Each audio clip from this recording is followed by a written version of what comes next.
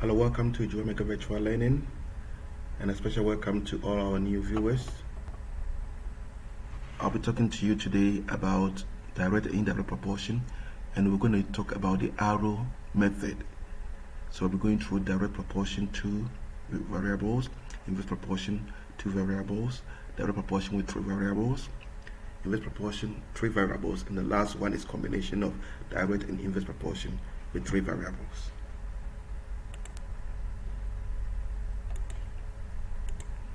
Okay, so the first example is two variables that are proportion. Chef Joanna uses 600 grams of flour to make 25 pies. How much flour will she need to make 12 pies? So just put it into a simple table. We're talking about flour and pies. So first is 600 and 25 pies. The next one is we're making 12 pies, but we don't know the number of flour. So just replace that with a letter, X, Y, whatever. So I prefer to use X. Now, because it's the direct method, that means they all have the same direction. They move the same direction, up and up, down and down. That's what the proportion is all about, the same direction. So, what you need to understand is that you need to read the question to understand what is direct. Less pies means you have less flour. More pies means you need more flour. So this is how you need to understand the question. Having understood the direct, then you know the arrow method properly. Because if you don't know the direct or inverse, you mix it up. So now we know if you want to make less pie, you need less flour. So it's direct. So when it's direct, always start your work with the x to form your simple equation. So we're going to go up for flour. So that's one side of the equation. So we have x over 600. We're going to go up because it's also direct. That will be equals to also 12 over 25. Then you solved it. Simple as that. Always start with the x. x over 600. So we're going up once the other one must also go up, the other one.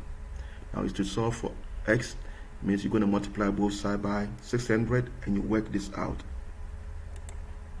So you have 12 over 25 times 600 and when you work it out 600 divided by 25 you times the answer by 12 so you're going to have all multiplying divided by 25 they are all the same so the answer will be 288 grams of flour 288 grams of flour and it makes sense.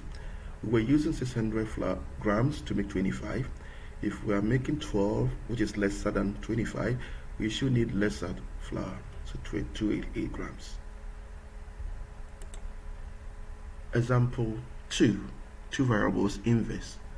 Five robots can produce a given amount of chairs in 16 days. How many robots can produce the same given amount of chairs in 40 days put into a table form. We're talking about robots and days. Robots and days. First, five robots, 16 days. In The second sentence, we are using 40 days, so under days we have 40, but we don't know how many robots. Let's make sense. Why is it inverse?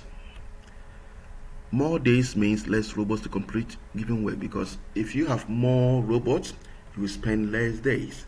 So if you are spending more days, means you don't have enough robots. So the number of robots and days are also inversely related. So you know that this is inverse proportion.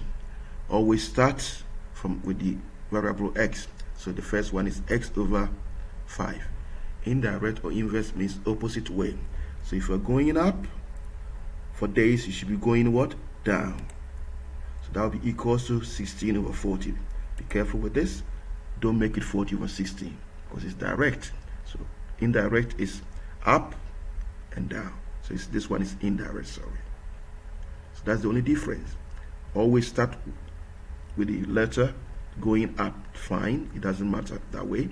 But your second one needs to be very, uh, should comply with whether it's direct or indirect. Then from here, you multiply both side by 5 and you work out x. When you work out x, you have 80 divided by 40, and that is 2 robots. And let's see if it makes sense. We had five robots working, so we worked for 16 days. We had only two robots working, which means they got to do more for the for other five. Therefore, we need what? More days. And it makes sense, 40. So always check your answer to see if it makes sense. Now we are going into three variables. Three tractors can plow five acres of land in two days. How many acres of land can four tractors plow in six days? So we have tractors, acre of land, and days. So put it into a table form. Three, five, two. Simple. Check four is for tractors, put it under four. Six is for days, put it under two. We don't know the acre of land, so we call it X. Try to see how the acre of land relate to days and relate to tractors. You need to do them separately. More days means more acres to be plowed. If you are spending more days on the farm, you plow more area of land. So that one is direct. So we know acre of land and days are direct. So you can see all going up. Now let's see acre of land and tractors. Also, more tractors means you're going to plow more area of land. That is also direct. So that's why they are all pointing up. Start your equation with the letter x over 5 is going up. It should equal to going up also. So that will be 4 over 3. Then times it by this also going up. 6 over 2 work this out. So you're gonna have when you work this out is equal to 4 so x will be equals to multiply 5 both sides and x will be 20 acres. Let's see if it makes sense. Yes. So four tractors working six days will plow more area of what? Land. Makes sense. And let's look at where we have inverse proportion for three variables. Eight men can complete a job in 10 days, working 6 hours a day. In how many days would 10 men working 4 hours a day complete the same job? This particular question was actually explained during lesson 3, but we're using the, uh, the equation coefficient method. This time, let's see arrow method. So we put your information into a table men, days, and hours. We don't know days, so we call it X.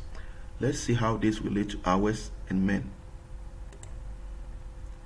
More hours spent on a job means fewer days needed to complete a given task. That's inverse. So days and hours inverse. So up, down. Let's see days and men. Also, more men at work means less days to complete a given task. So 8 days is going up, men should go down. Start the equation from x over 10. It should equal to, is going down, so that should be 8 over 10 times by going down 6 over 4. Then you work it out for x. This is 48 over 40. Multiply both side by 10 and work it out. X is 12 days. X is 12 days. So 10 men will take 12 days working 4 hours. So 10 men working 4 hours a day take 12 hours to complete the job. Last one. What about the combination of direct and inverse proportion Six robots can produce five machines in 10 days. How many days will it take for robots to produce eight machines? Put robots, machines, and days into a table form. So four is the robots and four and the robots. Eight is machines the eight. So days is what we don't know. So we're going to see days and machines relationship and days and robots relationship. More robots spent on a job means fewer days needed to complete a given task. So that's inverse. So we know days going up, robot must go down.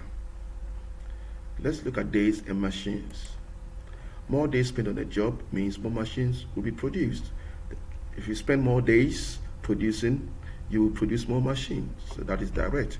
So days going up, machine must go up. Start the equation with the days because that's where the x is. x over 10 is equal to, this one is going down, so it should be 6 over 4. This one is going up, so it should be 8 over 5. Then you work it out. 48 over 20 equals x over 10. Multiply both sides by 10. I'm working it out. So x is equal to 24 days. X is equal to 24 days. Thank you very much for watching. So these are four lessons to help you overcome all your problems with direct and indirect proportion. Hope you've enjoyed this lesson. Pass it to your friends. Subscribe if you are new to this channel. Thank you very much. Bye.